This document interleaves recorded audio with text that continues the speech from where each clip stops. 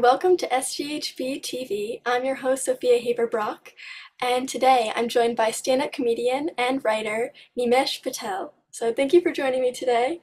Um, thank you. I know you've been waiting for a while to get on the show, so yeah, thanks for uh, coming on. Always um, a pleasure. I'm happy to reach the youth if I can. Yeah.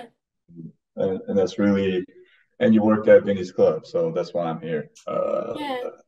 So I appreciate you taking the time. I'm happy to answer any questions. Hopefully, reach some of the people at Fairfield University and and beyond. So you have an incredible resume. You've written for SNL, the Oscars, Jimmy Fallon. You've been on Jimmy Fallon. 1.2 million on TikTok, which is very impressive. Um, so I know you went to NYU and you started in pre-med and finance. That's what your track was going to be, and then you ended up being a comedian.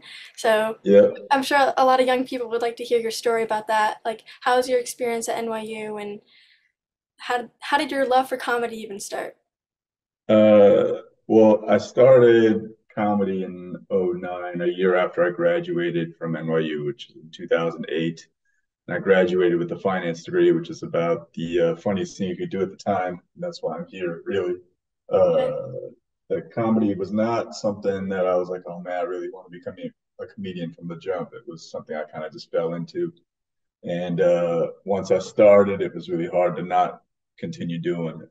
Uh, and that was really it. You know, it was just like, okay, I kind of fucked up uh, all the other plans that I had. Let's not fuck this one up. Um, and that's that's really it. Yeah, that's that's really funny. Like especially like being a doctor and a comedian are like the literal opposite things. And I know you. you yeah, I suppose. but I, I know you've said that you like don't have you didn't have stage fright or like you're felt comfortable going up on stage. Like, it, is that just a trait you had from when you were young, or? Hold on, just focus. Um, the lack of focus on my camera is annoying me. Uh, I, I, had a, I shot a video this week, and uh, my video guy, I think, change my settings and not change it back. Oh, um, what was the question? Sorry. I think it's I had no stage fright because I grew up with a lot of cousins, and that was always a matter of like talking shit in front of them and like their friends and our friends, and we always had a big group that I was always kind of talking in front of, so that kind of translated to not having stage fright because it just felt like I was talking to a larger group of people. And then in you know high throughout high school, um, you know, I was president of clubs and had to speak in front of lots of people a lot of times. So I think that kind of just translated pretty well. Um, in terms of like the, the confidence of getting on stage um, and thinking of wanting to do comedy, I took a like really corny writing class before I started comedy mm-hmm. after I graduated, and uh, I didn't really like the tone of the writing was really like emotional and sappy and just didn't feel good at the time. Um, and so stand up just felt like, okay, I can make fun of whatever emotions I'm experiencing and, and have a lot more fun. And I don't even have to talk about my feelings. I can just talk about the world and all that kind of stuff. And so it was, it just felt like, oh, let me try that. I grew up, you know, liking Chris Rock and, and Russell Peters. And so I think their voices were in the back of my head as well. Like, hey, just do stand up. And that's really what happened. That's great. And um, talking about Chris Rock, can you tell the story of how you got noticed by him and that little story? Yeah, it's my favorite story to tell. One of them. Uh, I, used to run a show in Brooklyn uh, with my dear friends uh, uh Mike Denny and Michael Che, and uh, you know, it became a very popular show by 2015. Chris was there to see someone else. Uh, I went up and because it was my show, I was like, "There's no way I'm not performing in front of Chris," and uh, I did well. And that was really it. Um, I heard him laughing. I was like, "Okay, off to the races." Did like 12 minutes. He came out afterwards, after watching the other comic uh, who went up right after me, and told me I was funny, and that was really all I needed to sustain uh, to this day. And uh, you know, a few months later, he got the writing job. I mean, he got the hosting job for the Oscars, and you know, I got an email saying Chris wants you to be on the writing team, and that was really it. Like, mm. I wish it were a lot more glorious, but I mean, I think it was really just like one, two, three. It was kind of crazy, actually. Yeah, that's amazing that like an icon like that he looked up to And like kind of in the beginning of your, of your career too. It wasn't like in the end someone that big said that. yeah. And it's cool So that you have really like because I've I've watched like a few of your podcasts and you've told like stories like you you do have a lot of luck like and you're very intuitive I guess right too like you you took advantage of that like cool moment and you went up and like that's that's an awesome trait to have which is It's all luck. It's all luck, uh, and not and not shrinking from the moment. yeah Uh, I've, I've definitely shrank from moments before, um, and definitely not noticed when luck was being given to me. Uh, but in the few moments that the stars have aligned, I, I did uh, uh, strike when the iron, well, strike when the opportunity was there, you know. hmm that's great and I'm sure a lot of young people want to have that trait so I, I I hope so. You know, it's it's hard to develop. It's hard to uh, recognize, but you know, when when the clouds part and the sun shines through, you should definitely, you know, bask in the sun when you can. And so it was one of those moments where it's like, oh, this is it. This is one of those like the ball's the, the shot clock's winding down. I got the ball. I'm feeling it. Let me see what happens. You know, worst thing that happens is uh, a bomb in front of my idol, but then he doesn't know who I am anyway. Um, so yeah know, and it's fine. So I know you then you got that gig from Chris Rock and so I, I know on your podcast like podcast you've been on you've said like you thought that was going to be your big break. Like oh I'm going to be so big after that. And then like you just kept going like kept it was just like normal after that right? So Yeah, for uh, what were you going to say? I was gonna say, you know, no, you're right. I, I really thought that was gonna be after the Oscars that I was gonna be uh, rich, famous, doing every writing thing there was, but uh, I had not learned to manage my expectations um, up until that point. I had, but I always very, very promptly forgot that lesson. Um, yeah uh, which is, you know, in hindsight, I wish I always had very high hopes. I try to maintain those, um, and, try not to not try not to uh, feel bad when they don't come to fruition. Uh, but I was very grateful, obviously, that you know I had that opportunity, and then I just kept working because uh, I really had no other choice. yeah and it's like funny because that one thing you didn't get big from but then TikTok on the other hand like overnight you could post one thing and then you blow up which is like crazy It is kind of crazy, yeah.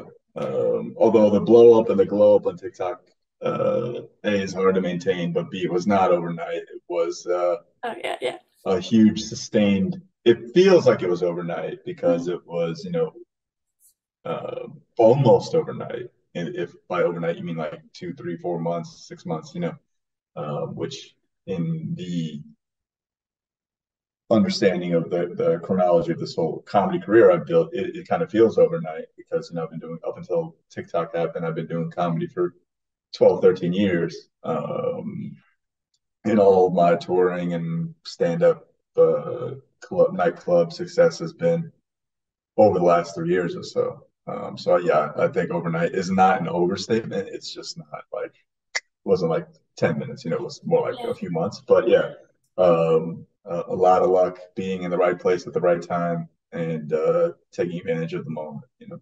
Are you checking your phone like 24/7 now with all this like social media buzz or like how, how do you work with your Uh, phone it's a lot to manage because the phone is a poison. Like I like I said that joke at at this uh, at Stress Factory not too long, last two three weeks ago. Um, it is poison. Uh, it's definitely rotting my brain and definitely rotted a lot of millions of brains across the country, uh, across the world. Um, but you know, for the first six months when I was managing everything on my own, uh, it was definitely a tax on my my my mental health. Um, and I recognized that early on, and I realized I needed to make a change, and so I hired a team to help uh, do everything. And I still manage the team. I still check my phone, but it's a lot less than I was doing beforehand. It consumes a lot less time. Mhm. And uh, I've always found that, you know, on the weekends when I tend to check it less frequently, I definitely just have more time to do other stuff and I feel better. And I, it took me a while to pinpoint why. And it was, I realized it was because I wasn't on my phone as much. And so, yeah young people out there, get off your phones, go outside. The world is great. Uh, have some fun. Yeah, it's definitely. I I imagine it's very different having a team behind it, so it's not like you have to like do it all yourself, right? S- Which that's Correct. what you were doing before. You were doing everything yourself, like editing and Yeah. Not editing, but uh posting the, the tedious stuff that I could manage, posting and uh, writing the captions and uh you know resizing for every every platform, all that just took so much work and time, like four or five hours out of my day that I needed back desperately. I would go to sleep thinking about what I was going to say and wake up thinking about what I was going to comment. And so that that burden was once that burden was lifted, it was it was very cool. Hmm. and I, I mean you've done so much. Like I would want to talk about everything, but obviously we don't have time for that. But like you've really cool experiences, like um, like being on the late night shows and like the White House Correspondents' Dinner and Awkwafina, and I mean you've done a lot. Like, do you have any um, really memorable experiences from your favorite favorite writing experiences, not just stand Uh, up? uh, well, yeah, I mean, I got a lot. Uh, I've done. I've been fortunate to to have random opportunities pop up for me. Um, and again, like a lot of it being in the right place at the right time. Um, and knowing when I was in those moments. Um, you know, starting with, you know, obviously the Oscars was, you know, the first, that was my first writing job, and it was a great one. Um, I learned a lot from it. You know, my second writing job, I think, was the Congressional Correspondents' Dinner with Hassan Minhaj.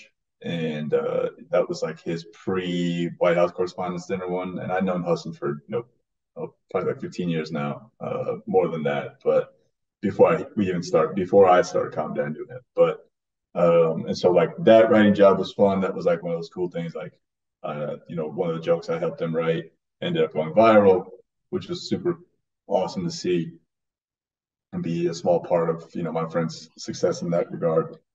Um, and then, you know, I wrote for Awkwafina before she was Awkwafina. She had a show called uh, Talk with Awkwafina on a, a now defunct network called Go 90, which was a Verizon offshoot. That was just like me and two other people, which was, you know, again, like a very incredible experience. Um, in hindsight, at the time, I wasn't really cognizant of what Awkwafina was going to turn into and, and how her career was going to take off. But, you know, she's obviously a megastar now. Um, that was super fun. You know, I wrote my own show called Rhyme and Reason, which is sold to MTV2, uh, which is uh, my first pilot that I sold. My, I think my last up until this point, but uh, that was like an awesome experience I had with Mookie Thompson.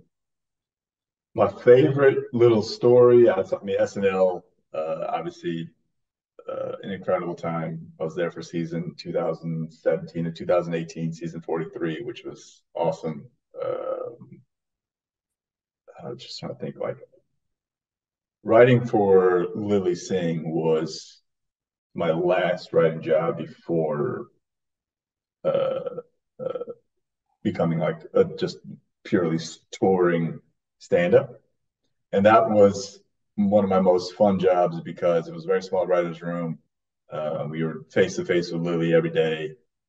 And uh, uh, like I could really be myself the most because it was just like turning my ideas into sketches for and you know bits for her um, and that was just like overall the ability to translate my stand up into sketches um, was not something I knew I would be able to do so easily because when I was at SNL I wrote Weekend Update so that was like writing pure jokes this was like I have this joke about Justin Trudeau wearing blackface. How do I turn it into a thing Lilly Singh would do? She didn't end up doing it, obviously, because she's boys with Justin. But um, it was like it was a very fun kind of different experience for me, and I, I look forward to hoping to do that again sometime.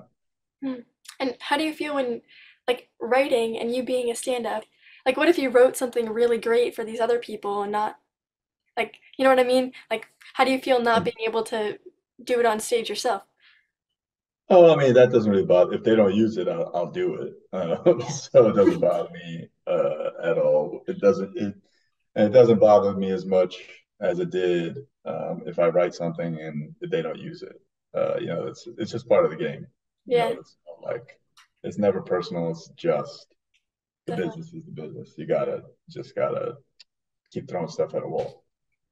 And um, to talk about your uh, stand up, you have like a really unique, awesome crowd play. Like you have a great talent of like connecting with people and like even little things like remembering their names and going like going back to them. Um, and like I noticed like on your Instagram stories, I don't know if it, this is you or your people, but like you write little notes about people. Like it's very personalized, which I thought is nice. Oh, thank you. Um, Yeah. is is that your? Did you come up with that, or that's like your social media strategy to try to connect? No, that's me. That's me in the green room afterwards, uh, trying to remember everyone that I talked to. And I've I've been pretty good. I think I have like a 90%, 99% hit rate. Like I usually get everybody. I think once or twice I've missed somebody and they've been like, what about me in the DMs? But um, for the most part, that's just a way to uh, recap more for myself, uh, who I talk to. And it's really just me like testing my own brain power to see if I can remember everybody. Yeah. Um, while I'm in the room, it's more, again, like I have 16 first cousins and a, and a younger sister. And so like remembering names isn't as hard as it is for me as it might be for some other people. I don't ask me to remember them like 10 minutes after Yeah. uh the show's over. Um, after I post that shit on the Instagram story or whatever, like I don't their their memories, their brain Yeah. is their their names are gone from my brain, but um it's just a it's not like even a not necessarily a party trick it used to be, but it's more just like, yeah, what you said. It's a way to connect, a way to people feel uh like they were more part of the show than they were, or you know, just add a little flavor that's different than what everyone else is doing. Um, but you know, at the end of the day, the crowd plays just to make sure you're paying attention to the material. You know, like uh, I think uh, crowd work is having like a very big moment at the time in, in stand up in general. And I'm happy to have been part of that if I have been part of it, which I think I have been. But at the same time, you know, I didn't get into it to just do crowd work, you know. Yeah. on, again, like you saw at the show, it's not just fucking with the audience members. Those are like memorable parts because people like those are like the peaks that happen in between the other small peaks between, you know. Um, and sometimes those moments are just the most insane. Um, but whatever helps you leave there thinking, oh, this guy's a very good comedian, like, and his jokes are very strong. Mhm. Um, that's that's always the goal. Yeah, that's great. And um, so I know during the show I noticed that you go on your phone at the end, like, and I saw that you posted something too, like with your notes. Is do you Mhm. just like write your notes in a note in the notes app and then like review it after to make sure you hit everything, or what? What is that about? Over the summer, as I'm, you know, I'm doing a theater tour this fall. Yeah, yeah, Um, but over the summer, you know, I've got a, a another hour to craft. And uh, a lot of that is like, okay, I wrote jokes and I have things that I want to remember and bullet points and order and structure and all that. And it's very hard from the beginning if you like to get into the rhythm of a set uh, uh, to remember the order if you haven't done it a billion times. And so when I'm on stage with notes at the clubs, it's like, okay, I gotta did I did I hit everything I want to talk about? Yeah, I wrote something new in the green room. Gotta make sure I talked about that. yeah, Uh, that's really it. It's just like a because it's still very new in my brain. Like if I were to go up on stage right now, uh, without notes, I could probably do 30 or 40 without anything. Um, but at, the order would be all over the place and I wouldn't remember necessarily what I was Yeah. talking about, where I was talking about it. Yeah, Um, and I- I wondered- billion times.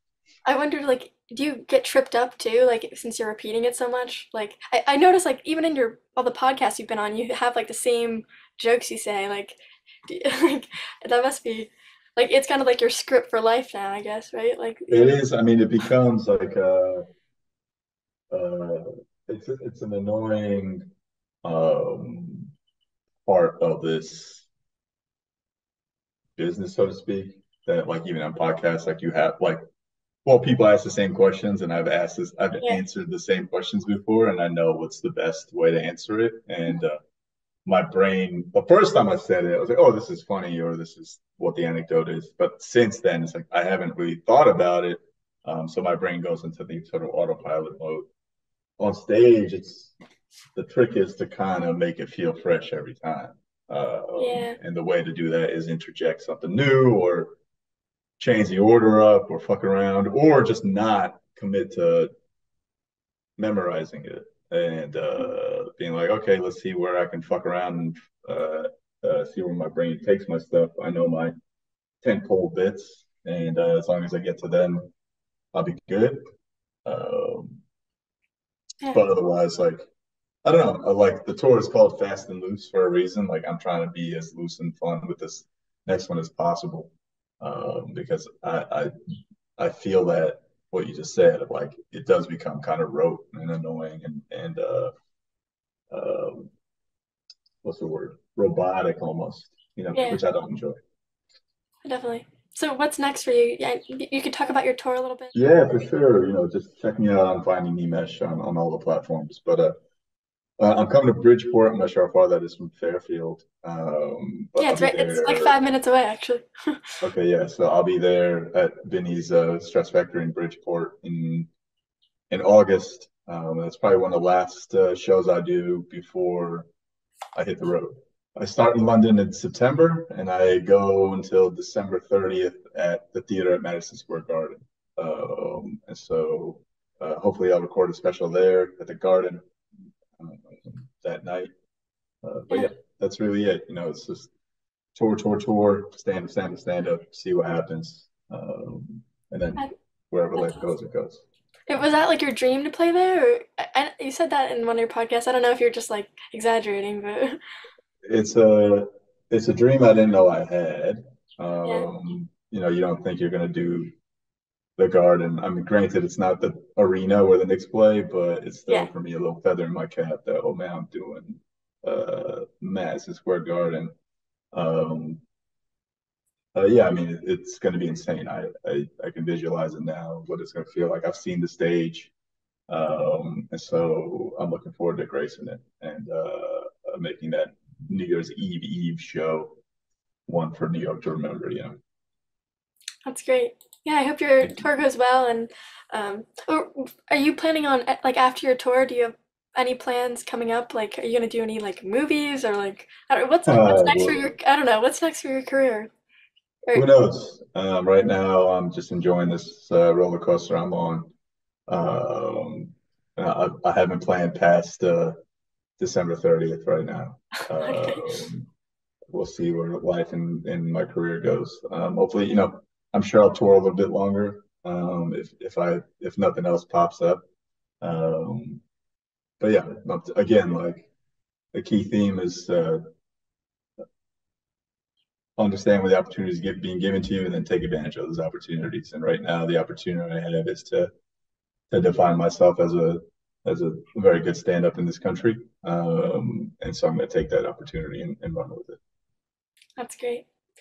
Do you still feel passionate about comedy? Like, are you still in love with it, or Of course, yeah. I mean, you know, you it's a it's a it's a love hate relationship, but it's mostly love. Uh, the hate is the the work and like the, kind of the rote part of it. Not the work. The work is actually a lot of fun. Like I'm gonna hop off this call and uh, uh, get back into my daily schedule, but the work being like now I outline my set. Now I gotta go uh, and added a bunch of new stuff. Now I gotta go write all those jokes and see where they go and have fun fucking doing that. And that's like that much I like a lot. The touring aspect of it is difficult. Uh, you know, it's a lot. It's like just physically a lot. But again, like I'm having fun. I'm young. Um, not as young as you guys, but uh, uh, you know, always being like first people's being people's first comedian is like an insane honor um, because you know Chris Rock and Russell Peters are my first comedians, you know, and so it's like I might be that for somebody. It's kind of cool